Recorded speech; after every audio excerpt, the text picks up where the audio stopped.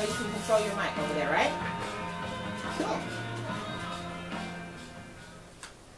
Welcome to the WMNF afternoon call-in show, The Last Call. I'm Sean Kinane. In a moment, we'll open up the phone lines. We're going to take your calls at 813-239-9663. You can also email your questions or comments to dj at wmnf.org. And before I forget, I want to tell us tell you a, a traffic incident that I just learned about about a half hour ago. The eastbound lanes on I-275 of the Howard Franklin Bridge were blocked because of a fire at the east end of the bridge. So I'm, i have to tell you, I don't know if that's cleared up. You're welcome to call in and tell us. But the eastbound lanes, I-275 of the Howard Franklin Bridge were blocked because of a fire at the east end of the bridge. That was a half an hour ago. Well, the Republican National Convention is going on this week amid a flood of security and a relative trickle of protesters, and we'd like to hear your thoughts. Today, we're going to talk about one of the national groups that came to Tampa to protest this week Code Pink, Women for Peace. That's at 6 o'clock. But first, we're going to look at the legal issues that protesters are encountering. Our first guest today, we have both on the, in the studio and on the phone, National Lawyers Guild Mass Defender Co- Defense Coordinator Abi Hassan. Welcome, Abi. Hello, thank you. And also, we have on the phone Executive Director, I believe is your title, Heidi Boghosian. Thanks so much for joining me, both of you. And maybe we'll start with Abi because he's been on the ground in Tampa this week. There have been really not very many arrests. So tell us how that the number of arrests and the number of confrontations has compared with previous large security events.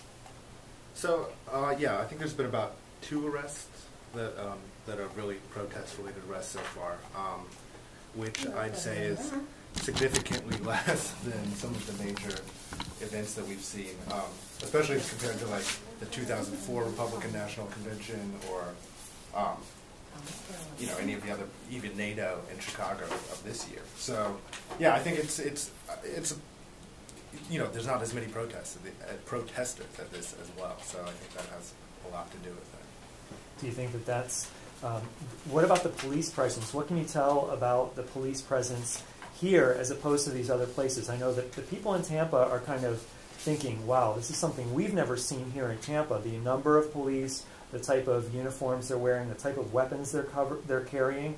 That's something we've never seen, but then again, we've never hosted a convention or, or something like that. How does this compare to, say, the NATO protests and so on? So uh, I think it's it's actually when, when when these things happen in major cities. I'm looking at the numbers here. Um, you know, the RNC in 2004, we saw about 36,000 police. Um, I think we're looking at about 3,400 here. Um, the Bush inauguration saw 13,000. The 2008 RNC, we're about the same numbers here at, at 3,500. Um, the G20 in Pittsburgh, which was another major event, um, we saw about 6,000. So this is maybe on the lower end, but the, num- the amount of money they've spent and the level and you know the high tech nature of the equipment is is is ramped up for for Tampa. I mean, if you go downtown, you see all the streets are barricaded with eight to ten foot mobile barricades. Um, you see windows up to the second story completely boarded. Um, you know, with, with armed police standing in front, it's it, it really feels like you're inside a prison to be downtown. Very few um, civilians, you know, the, most people have been told to take the week off work. Not a lot of people downtown. It's really turned the downtown into a, a, fortress type. You know, it. You know, I've never been to Baghdad, but it, it has a feel of like a green zone or something. That it's just, you know, ready. It, it looks like a like a like a military fort. Heidi, do you have uh, any experience with previous demonstrations? I'm sure you do. And, and how would you compare what's happening now in Tampa to the legal issues that are in that, that you've encountered before? Described is quite typical of what we've seen over the years at national special security events. We've seen illegal crackdowns by police that have really become increasingly extreme and codified as part of the cost of doing business at these events. Um, a lot of this started at the WTO protests uh, in 1999, and what I think people don't hear, they hear the thousands of people who were uh, pepper sprayed, falsely arrested, and later awarded a total of $1.4 million in lawsuit settlement. I think what we saw in Tampa weeks and months before really, and we spoke to a lot of people in the streets, residents who said that they were uh, terrified of rumors of the so-called anarchists coming to town, uh, businesses were boarded up, people literally left town. Um, so I think what happens is we've seen uh, the kind of expenditures that Avi mentioned, an increased militarization, and then a police force that really does a good job of frightening not only local residents but people coming into town from around the country to protest. And had it not been for the storm, uh, we don't know how many people would have come. I, I understand that many buses uh, planning to bring people from out of town were turned away. But I do think that we see exorbitant expenditures, uh, an overreactive uh, number of law enforcement agencies, and a lot of rhetoric really vilifying protesters. That's the voice of Heidi Bedrosian. She's the executive director of the National Lawyers Guild. We also have Abi Hassan with the National Lawyers Guild. He's a mass defense coordinator here in Tampa. And I want to go to the phones and, and get your response to what's happening in Tampa. What are your observations? Do you have questions for the National Lawyers Guild? The number here is 813 239 9663. If you'd like to, you can email us at dj at wmnf.org. We have Tom in Clearwater. Hi, Tom. The, the lawyers are on the air.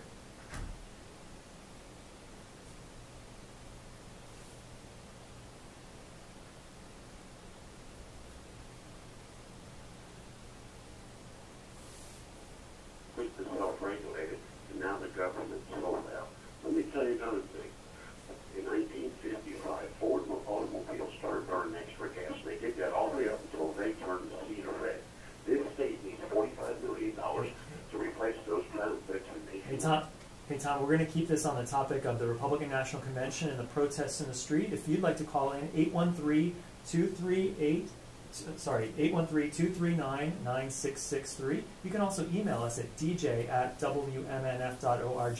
And Heidi, I want to follow up with something you were talking about a minute ago, and that was how the city of Tampa prepared, how they spent the $50 million that, that came from the federal government on security and put up all these barricades, as Avi was mentioning, and how it's created kind of a fortress. Is that, you know, they might say, if, if there ends up being not much, uh, not many arrests, they might say, well, then that's the model we should do. We should do the fortress model. We should do, next time there's a convention, we should, uh, you know, have, have this same type of thing. What are, what's your thoughts about that?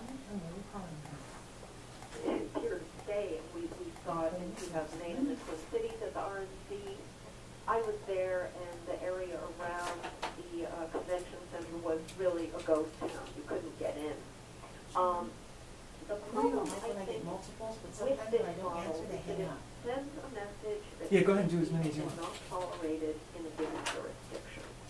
Uh, people in New York in 2004 at the RNC were mass arrested, we had 1,800 people arrested, detained in uh, a sort of pier that had chemicals on the floor for days. So the judge had to order the city to release people, and they delayed in doing so. We're still settling lawsuits about that. We also saw, and we see at a lot of these events, the use of agents provocateur, um, and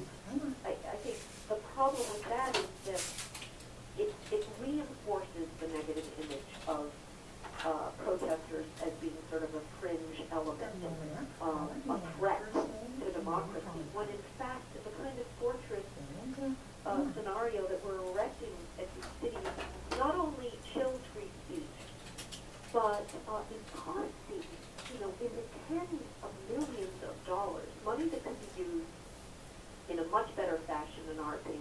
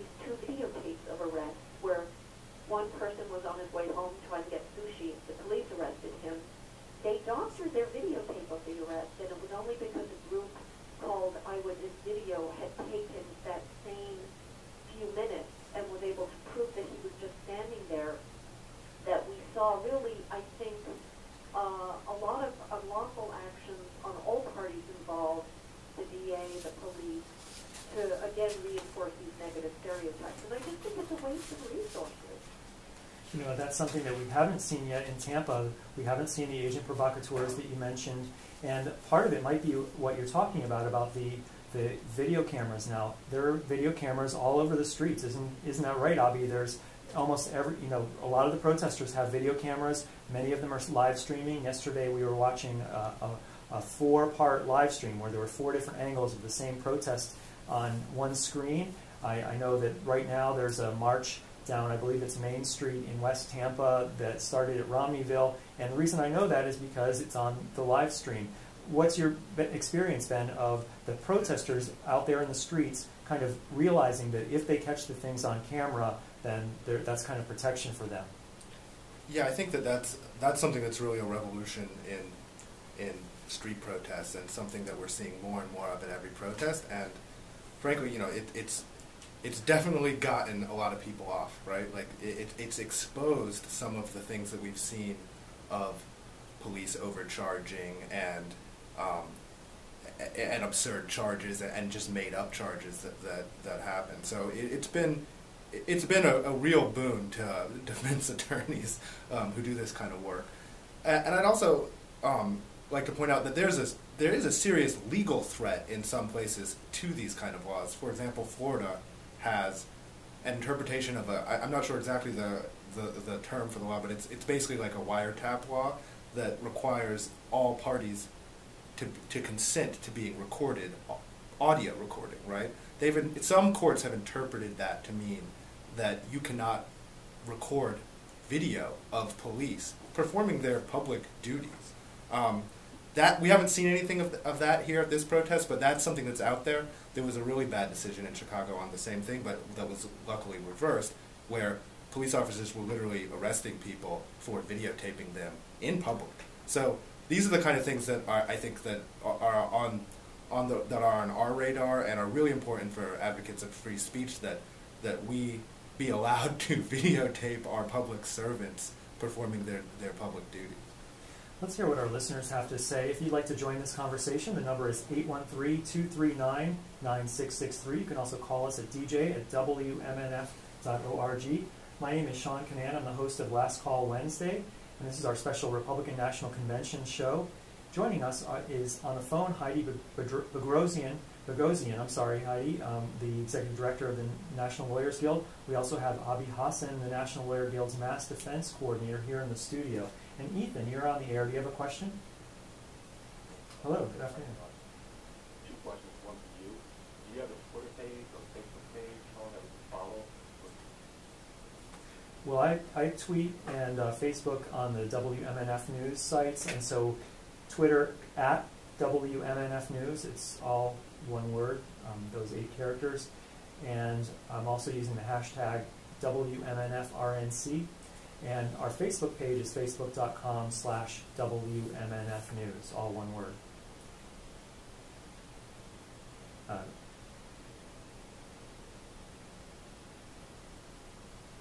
Two guests you have on, and thank you for having attorneys on.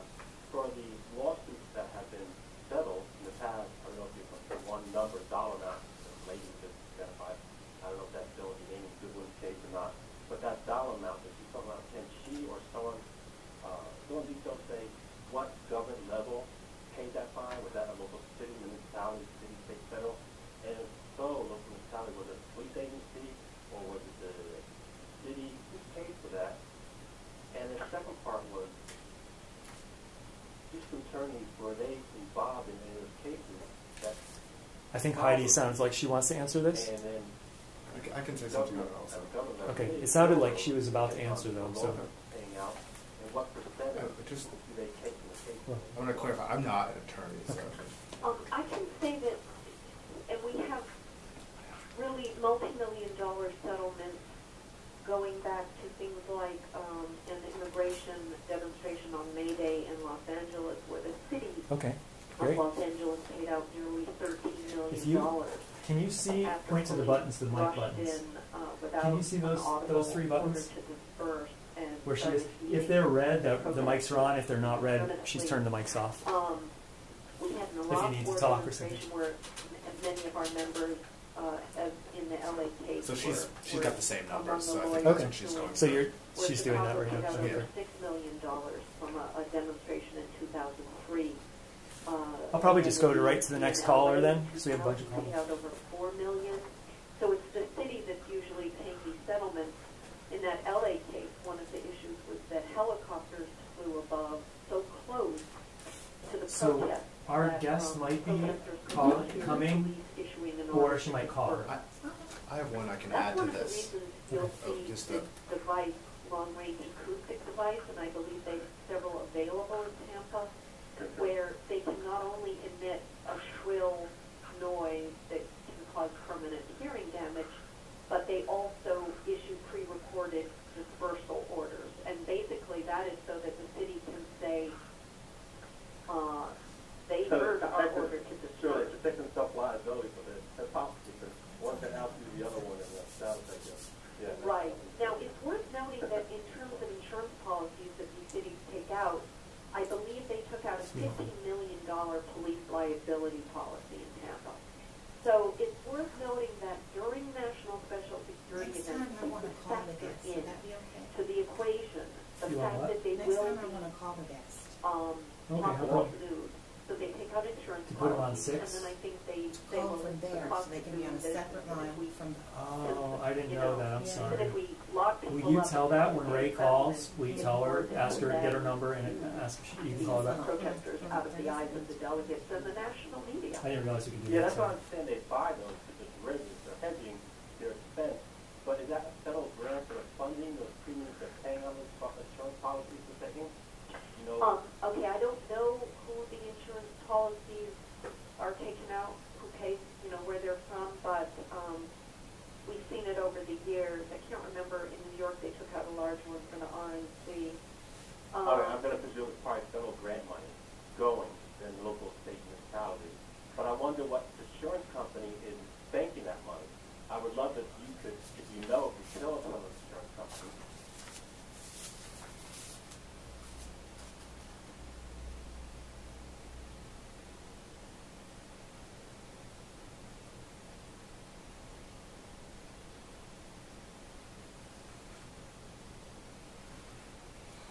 Right.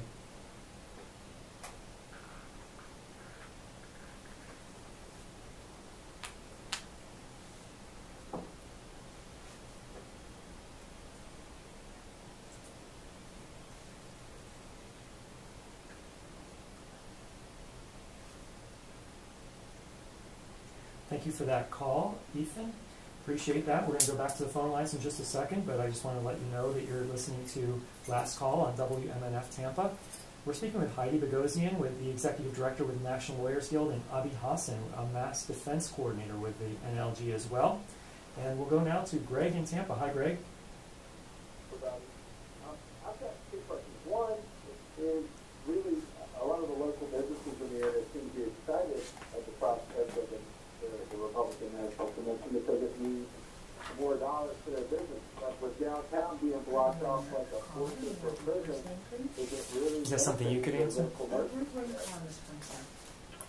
Well, And where you're calling Before I answer that, I'd just like to say that, um, actually, one of my staff members has texted me to remind me that Homeland Security provided a block grant, uh, for some of that insurance. And I, I want to just note that, uh, in general, we've seen a lot of police departments ramping up their equipment in preparation for these events with Homeland Security grants. Um, and whether or not they do it just for the event or with an eye towards bolstering their equipment and, um, whatnot for future, it's just something to be aware of. I personally think that, um, it sends a really bad. Did we drop off the current caller? He went away. What's his name? Do you remember? it Certainly Yeah. must hurt them. In a week when you're getting so many delegates and others coming to town, uh, it seems to me a shame. I'm gonna put her a on. I number like to levels get a mix of businesses your you know, Email. voices. Yeah. warned and frightened so that they uh, closed down. I know in Pittsburgh at the G20 summit, we went downtown and cars were literally boarded up. Yeah, I, I mean, I could say something on this. Okay. that would address this And guy's it should be a time when businesses uh, profit from all the And Avi, you have something to add? Yeah, I, I think that two things. One, um, the the the security apparatus is such downtown that it is not a pleasant or convenient or um, it, it- it's not a place for locals to be. I I was on the big march on Monday um, and uh, legal observing, and, and you could see just a just a couple dozen locals kind of peering through the giant fences. Um, and and and I'd add one more thing to that that that the the way these conventions are run at this point, there's so much corporate spending and um, and massive parties. You know, AT and T just threw a multi-million dollar party, and there's so much of that stuff going on that that does affect that does help small businesses, local business in some ways, but a lot of them, a lot of the business is being sucked into these giant corporate events.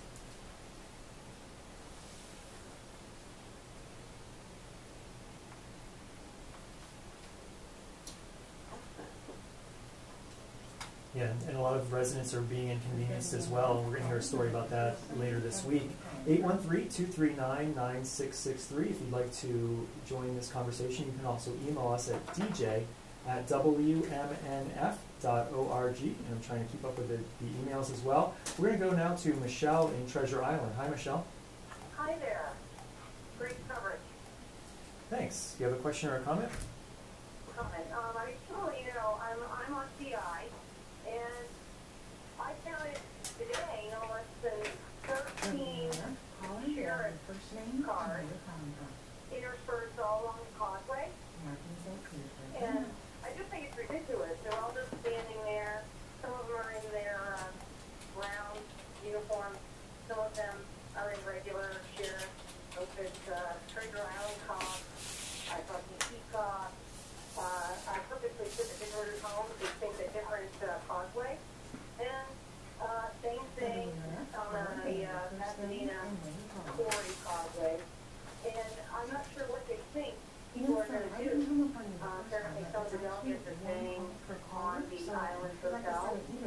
And it just seems ridiculous. It's overkill. And to live out there and see the occasional one cop trying to stop someone speeding, I uh, mean, you're used to that. But to see a dozen cops just sitting there, sheriffs just sitting there, and, and patrol boats in, in, in the water, waiting. And what do they think people are going to do? Standing in there. Yeah, Mich- Michelle, let's,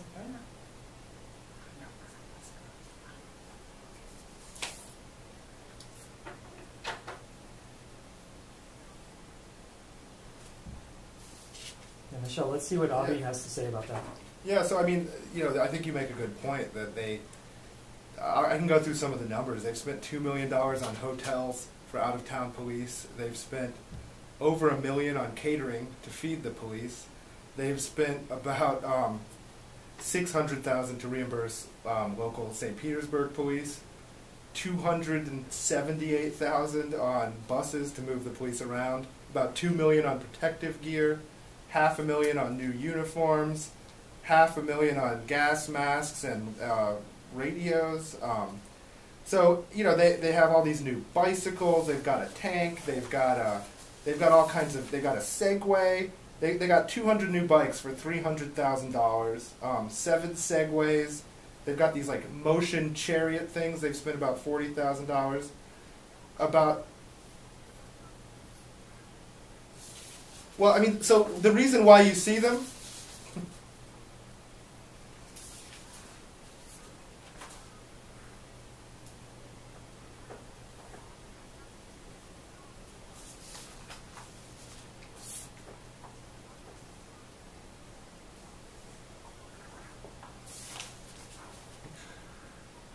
Yeah, I, I think.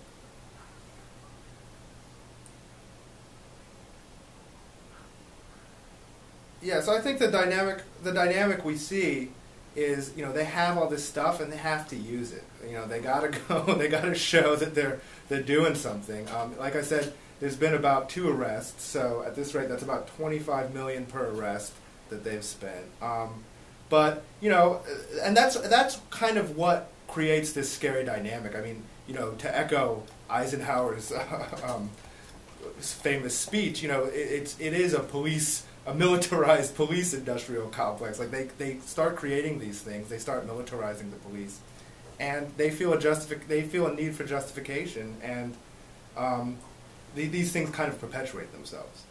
All right, thank you so much for that call. Did, I'm sorry, Heidi, did you have something to add?